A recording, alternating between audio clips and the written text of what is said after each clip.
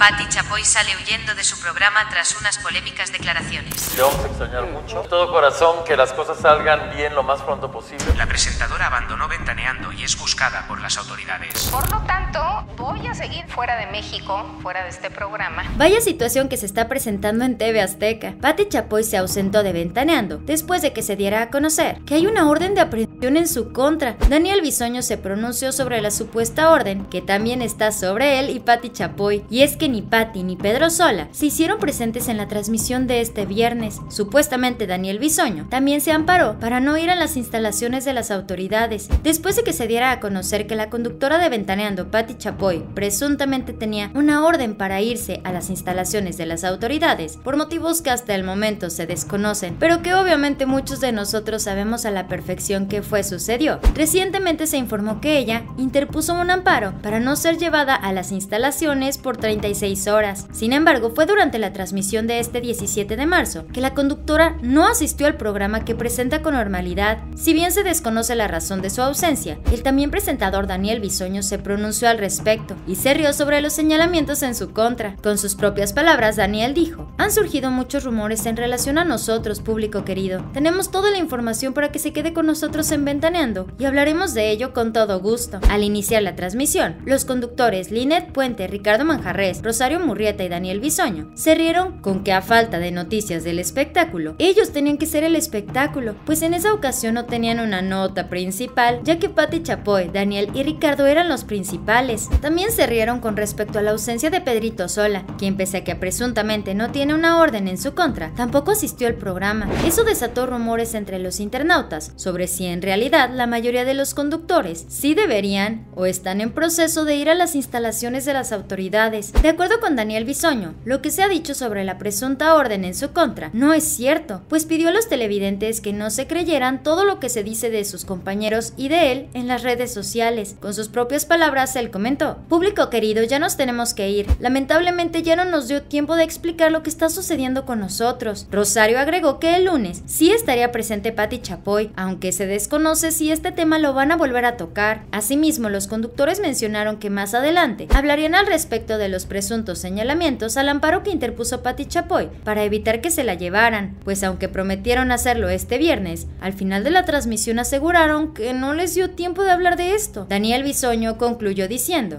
estamos siendo tendencia en todas partes, pero no se crean lo que leen, la gente es muy tonta y se atreven a publicar cosas que no tienen ni la más remota idea de lo que están diciendo. Obviamente los seguidores de Ventaneando estaban bastante sentidos de que no tocaron el tema, y algunos de los comentarios dicen así, ¿qué hay de la orden de aprehensión contra Patricia? Por eso no fue hoy, ¿verdad? ¿Acaso nos están diciendo que Ventaneando va en declive? ¿No les dio tiempo o les prohibieron hablar? Nada creíbles. Cada día está peor su programucho.